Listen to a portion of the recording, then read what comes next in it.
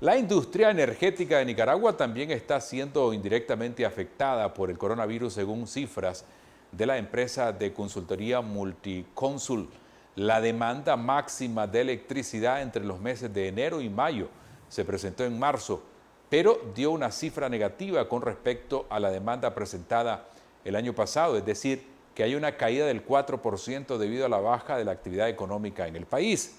Patricia Rodríguez indica que las razones están ligadas a que los sectores como la industria, el comercio y el servicio tuvieron que paralizar y operar al mínimo por las medidas que optaron para prevenir la propagación de la pandemia entre su personal y clientes. Lo que pasa es que la demanda máxima ocurre un día al año.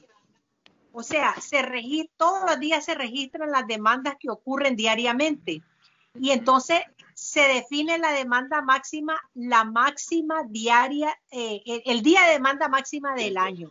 Entonces, hasta ahorita tenemos 689 megavatios de demanda máxima contra 717.50 que ocurrió el año pasado, que, que ocurrió en, en marzo. Como te digo, los meses en que siempre ocurre la demanda máxima del año es en marzo y abril, o en marzo o abril, y ya estamos en mayo y no, y no ocurrió. Es decir, estamos con un valor menor que la demanda máxima del año pasado.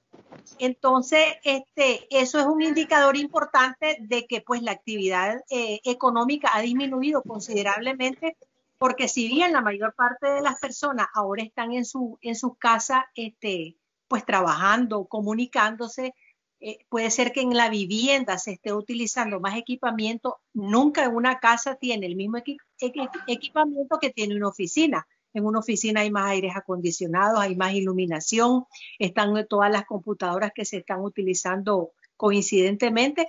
Entonces, eso ha influido muchísimo en que tengamos una demanda.